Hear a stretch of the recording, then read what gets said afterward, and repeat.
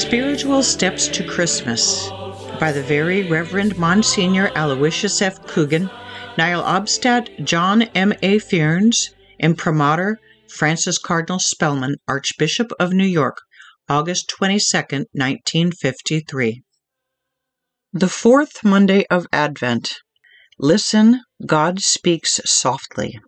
Now in the sixth month the angel Gabriel was sent from God to a town of Galilee called Nazareth, to a virgin betrothed to a man named Joseph, of the house of David, and the virgin's name was Mary. And when the angel had come to her, he said, Hail, full of grace, the Lord is with thee. Blessed art thou among women. When she had seen him, she was troubled at his word, and kept pondering what manner of greeting this might be. And the angel said to her, do not be afraid, Mary, for thou hast found grace with God. And behold, thou shalt conceive in thy womb, and shalt bring forth a son, and thou shalt call his name Jesus. He shall be great, and he shall be called the Son of the Most High. And the Lord God will give him the throne of David his father, and he shall be king over the house of Jacob forever, and of his kingdom there shall be no end. But Mary said to the angel, how shall this happen, since I do not know man? And the angel answered and said to her, The Holy Spirit shall come upon thee, and the power of the Most High shall overshadow thee, and therefore the Holy One to be born shall be called the Son of God. But Mary said, Behold the handmaid of the Lord, be it done unto me according to thy word. And the angel departed from her. This is the narrative of the Gospel according to St. Luke, wherein we have the first singing of the Ave Maria by an angel. A virgin takes up the beautiful strains and accepts the summons of grace.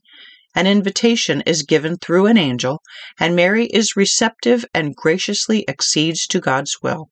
This story of the Annunciation is related not once, but many times. In the life of every man and woman born into the world, there is an annunciation of the angel of God. God's grace is poured forth from heaven into every soul. All too often, the story is very different from Mary's. Grace is spurned. Souls are not found in the attitude of prayer as was Mary. They are not on their knees. Their hearts are not, as was the Immaculate Heart of Mary, attuned to the loving heart of God. The voice of the angel is drowned out by the noise of the world and the distractions of modern living. During these Advent days, God is sending His angel of grace to drop the seed of inspiration into our hearts. We must till the soil by prayer and penance if the seed will take root. We must be on our knees like Mary, and in the silence of our chambers. In reflection must we be found if the angel is to be heard above the tumultuous riot of noise and distraction which characterizes our day. The important thing about the Annunciation of Mary is that she heard in silence the invitation. She reflected and then accepted. Acceptance of God's inspiration depends upon us. God never, never forces our wills. We are not conditioned by grace. We are free to refuse. Therein is the story of salvation. God comes into the world as he did at Bethlehem and knocks upon the inn of human hearts. Angels like Gabriel are sent by God as his messengers from heaven. They give us the gravitation of heaven. They set a tugging or pulling at our hearts. They move us to good by gentle reminders and holy inspirations, but they never force our souls. With every annunciation, it is sad to say, there is the possibility of a renunciation of grace. Acceptance requires the work of a good life and the practice of virtue. Hence, Advent penance and prayer are a prerequisite if we are to imitate Mary. Angels' songs are sweet to contemplate, Ave Marias are pleasant to hear, but we must do our part and add our share to the angel's task. We are men and women of flesh and blood, and have been created just a little less than the angels. We must strive for perfection that we may be in a position to, like Mary, say, Fiat mihi secundum verbum tuum. Be it done unto me according to thy word.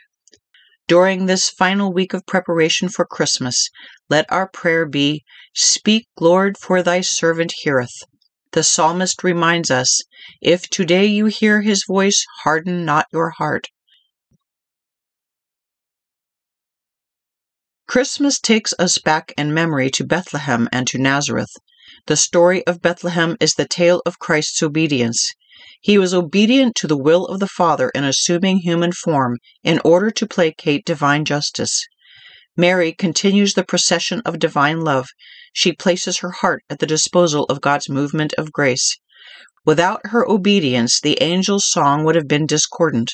Without God's great act of humility in coming to Bethlehem, there would have been no redemption. And without man's submission to God's will and imitation of Mary's response at Nazareth, there can be no peace on earth. Bethlehem or Nazareth is not an incident of history. It is repeated every time God comes to hearts that are open to receive Him. In this year of grace, as we prepare for Christmas, we are making history.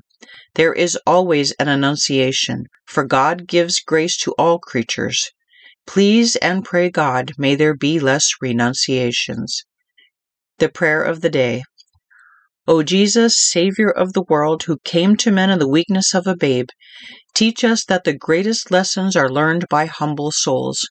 When the noise of the world would distract us, teach us to fall upon our knees like humble shepherds and lowly fishermen. When angel songs break the silence of our souls, help us to be like Mary and to say, Speak, Lord, thy servant heareth, be it done as thou wilt.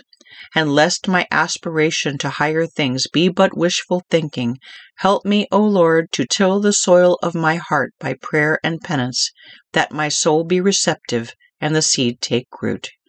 Amen.